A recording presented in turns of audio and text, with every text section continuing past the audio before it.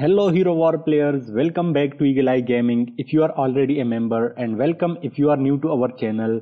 My name is Asad and in today's video I will discuss about top 5 support or control character in Hero Wars mobile version. It is not Nebula or Jorgen because this game has changed so much during few months after rework of some heroes and addition of few heroes and we needs to know what support heroes perform better at late game. And thank you so much my friends for completing target of 50 likes on my previous video in just 20 hours. Target for this video is to get 60 likes. Let's see in how much time do we get to our target. Before starting topic, if you haven't already subscribed yet, please hit that subscribe button and support our channel just for free. So without wasting any time, let's start the topic. I will categorize this list in 5 ranking and on rank 5 of the list we have Alvanor. Alvanor is support slash mage character and plays at front line. He provides extra benefit to elf tribe and is also beneficial with other teams.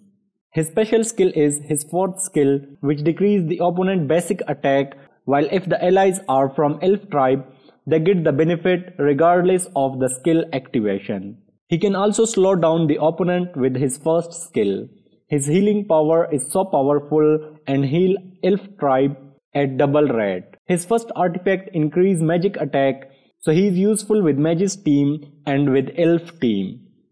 On rank 4 we have Helios. Helios is also mage slash support character and plays at backline in team and he deals ton of damage at late game if combined with a hero that can provide magic penetration with artifact like Faceless or Orion.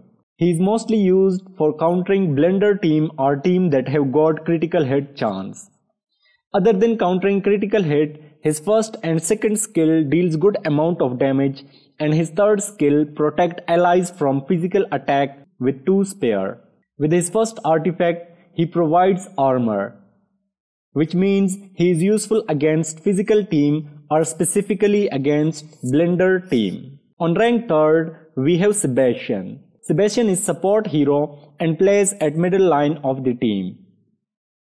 Sebastian remove negative effect from allies like stun and curse effect, unfortunately not so powerful like on web version which remove every type of negative effect. He do increase critical hit chance of allies with his second skill with his fourth skill, he and his allies can deal extra power damage with critical hit each time.